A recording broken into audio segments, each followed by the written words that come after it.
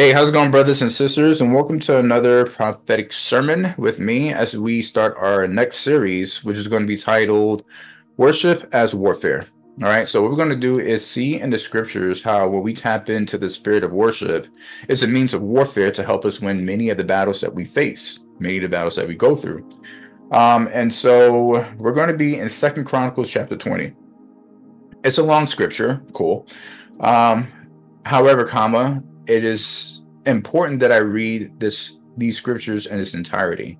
All right, because it's going to give us some important insights as to how we ought to fight these spiritual battles in the days that we are living in. So let's have some story time, right? We're going to consider this as little story time as we read the word of God. And then after we're done, we're going to go ahead and just talk about this. I say we're going to talk about it as if you guys can give me feedback, but um, yeah, we're going to, we're going to just highlight some of the key points in it that we can use in our lives. Um, beginning in verse 1, and it says, It came to pass after this also that the children of Moab and the children of Ammon, and with them other besides the Ammonites, came against Jehoshaphat to battle. Then there came some that told Jehoshaphat, saying, There cometh a great multitude against thee from beyond the sea on this side of Syria. And behold, they be in Hazazon Tamar, which is Engedi. And Jehoshaphat feared and set himself to seek the Lord and proclaim a fast throughout all Judah. And Judah gathered themselves together to ask help of the Lord. Even out of all the cities of Judah, they came to seek the Lord.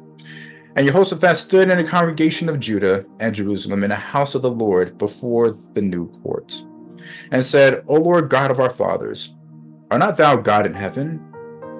And rulest not thou over all the kingdoms of the heathen? And in thine hand is there not power and might, so that none is able to withstand thee?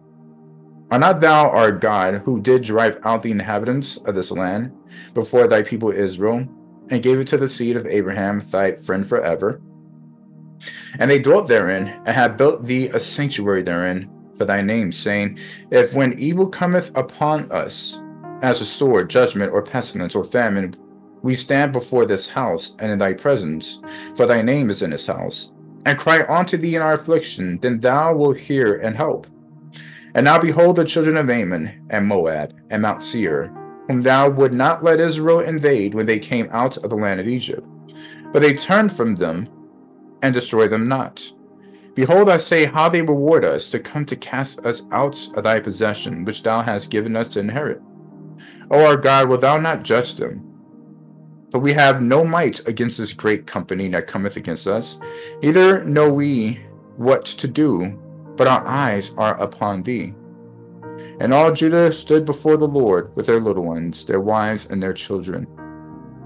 Then upon Jahaziel, the son of Zechariah, the son of Benaiah, the son of Jael, the son of Mattaniah, a Levite of the sons of Asaph, came the Spirit of the Lord in the midst of the congregation. And he said, Hearken ye all Judah and inhabitants of Jerusalem, and thou King Jehoshaphat, thus saith the Lord unto you, Be not afraid nor dismayed by reason of this great multitude, for the battle is not yours, but God's. Tomorrow go ye down against them. Behold, they come up by the cliff of Ziz, and ye shall find them at the end of the brook, before the wilderness of Jeruel. Ye shall not need to fight in this battle. You hear that? Ye shall not need to fight in this battle. Set yourselves, stand ye still, and see the salvation of the Lord with you. O Judah and Jerusalem, fear not, nor be dismayed. Tomorrow go out against them, for the Lord will be with you.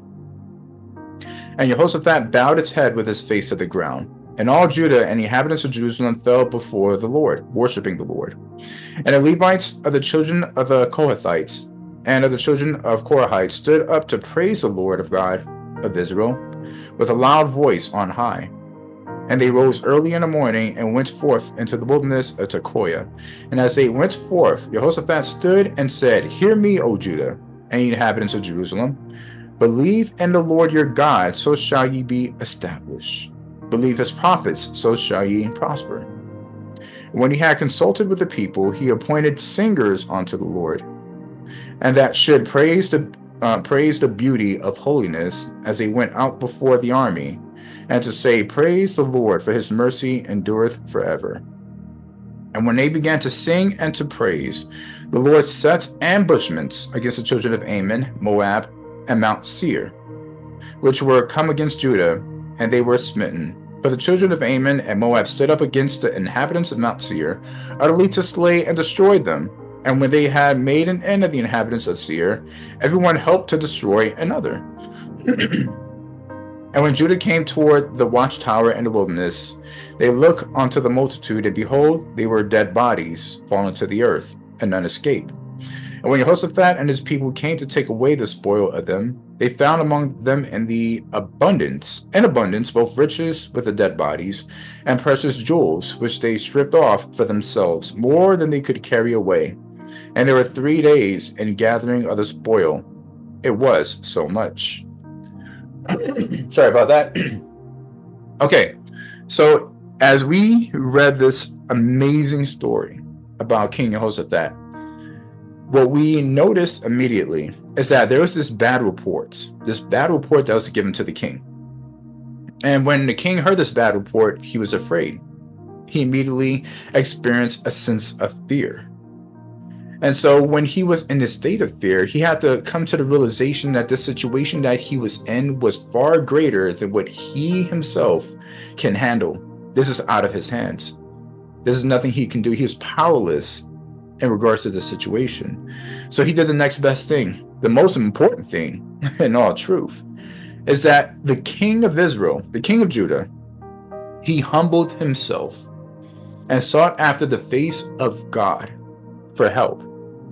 So let's pause there and reflect on what he did in this instance. You see, brothers and sisters, there's a lot of time, there's many instances in our lives when we come across situations that is just beyond us to handle, that is just too hard and too much for us to bear alone, too much for us to handle ourselves.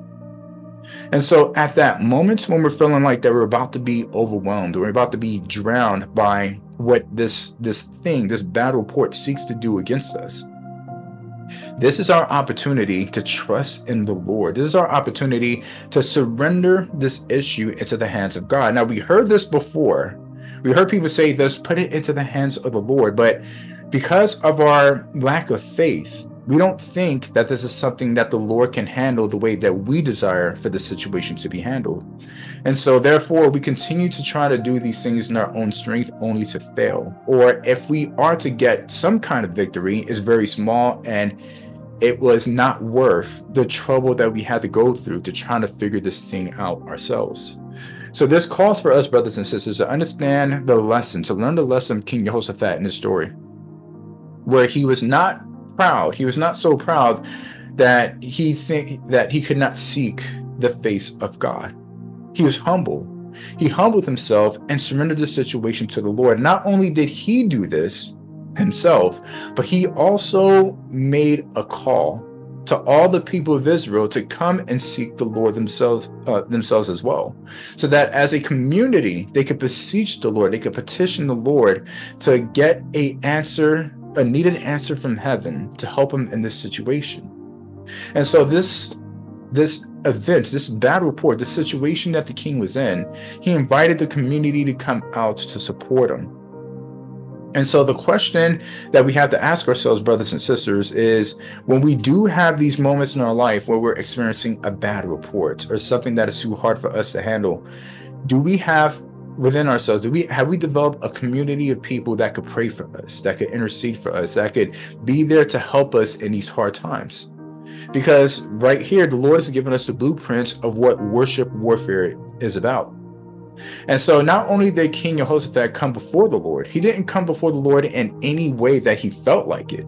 Too often brothers and sisters we dishonor the respect that is due to our god the respect that is due to our king to our father so when he approached the king, when Jehoshaphat approached the King of Kings, the Lord himself, he came with an offering. And this offering that he made unto the Lord was a fast offering. A fast offering where he renounced food and he renounced water for that season. He renounced, he sacrificed something before God, honoring God in this way, knowing that there's something that you know, there's a cost that comes with the help that the Lord can give to us in our situation. And so this cost usually is a surrender of our will, surrender of what we desire to do, where we're beseeching the Lord to see what that he can come through and help us in that situation. And this is what King Jehoshaphat had did excellent in this manner. And we can learn from this. And then as we continue on in the story, we see that in the midst of the community, in the midst of the congregation, the Lord sent forth his spirits and gave a word to one of the congregation members who had the answer. You see, when we choose to handle our situations by ourselves, brothers and sisters, and not invite others that we trust to help petition, to help seek after the Lord for an answer to this bad report, we may miss out on a person that the Lord has appointed to be the one to deliver that message. If the king decided that he would try to figure this situation out and it would just be him and the Lord, he may not have received the answer that was needed because the answer to that situation, the Lord has already appointed someone to be the one to carry that message. And so this is why we can't. we should not allow ourselves to be put in such a dark place that we feel like that we have to handle our situations alone. God has built up a community, people in our lives, whether it is a brother in Christ or a brother, a sister in Christ, an actual sister, your moms, your dads, your nephews, your, you know, there's so many different people in your core group that the Lord has created for you in your life. So you don't have to walk this life alone. As for me, I had to learn that lesson, you know, going through hard seasons because I used to think that I can handle many of my battles alone and that I didn't need anyone to help me because I only had God. And little did I learn that I was just delaying the the resolve. I was delaying the solution to come into my life because of the fact that I was rejecting the very hands of those who the Lord who the Lord has appointed to be the one to give me the help that I needed. So once I began to open myself up and to trust, because sometimes we don't trust people with our bad reports and our situations, because we know to open up our hearts means to make ourselves vulnerable to where someone can take advantage of it. And this is why we still have to use wisdom in all things. But at the end, we have to be willing to trust in whom the Lord was sent into our lives to be the one to help us in our difficult situations. And so, because King Jehoshaphat decided to invite the entire community, to come together to to petition the Lord for an answer to prayer to figure out how they can overcome this bad report. The person who was appointed for this, the Lord has sent. And in this report was a prophetic word of victory, the assurance of victory, if the people would just believe and trust God. And the best thing about it is that in that prophetic word that was given to King Jehoshaphat from one of the members in the congregation, the Lord told King Jehoshaphat that you will not have to fight this battle. I will be the one to fight this battle. And so you see so many situations, brothers and sisters, that we go through in which we believe that we have to handle it ourselves. We never was meant to carry. As a matter of fact, it was the Lord who is willing and who's always willing to fight our battles for us if we are just willing to humble ourselves and come before him and surrender these situations into his hand, as we've seen in the example of King Jehoshaphat.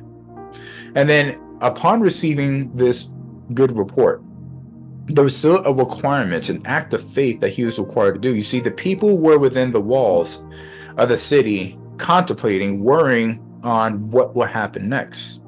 The Lord gives the word that He's going to fight their battles. This battle is the Lord's. They have nothing to worry about. But the Lord commanded them that they would have to come out the walls of their safety that they trusted in and meet Him at this appointed place to see the salvation of their God. And so this requires that they put aside their fear, they put aside their doubt and their worry to come out of their comfort zone and go to this place to see the salvation of the Lord. And so the king has such an important role to encourage the congregation to remind them of this prophetic word, to remind them that the Lord has said that victory was theirs.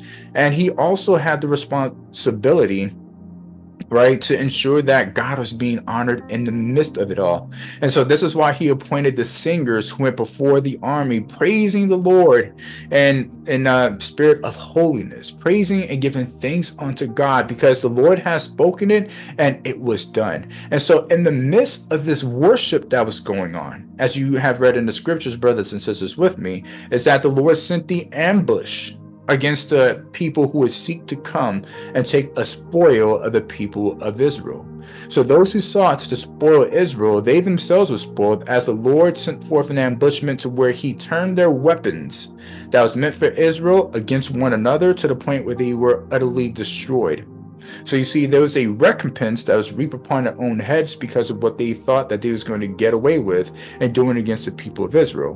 But because the people of Israel trusted in their God, because the people of Israel reminded God of his word, because you see, the king, when he petitioned the Lord, the king knew the word of God and knew the promises of God and was able to speak it back to the Lord. And so that is also an important element to know in our worship as warfare, brothers and sisters, is that we have to know the word of God so that when we begin to worship and we begin to petition, make our petitions to God, that it is accurate and it is accordance with the will of God what he speaks of in his word. And so, in the midst of this worship, in this midst of praising God in advance, the Lord has dealt with the enemies. The Lord has fought the battle of the people.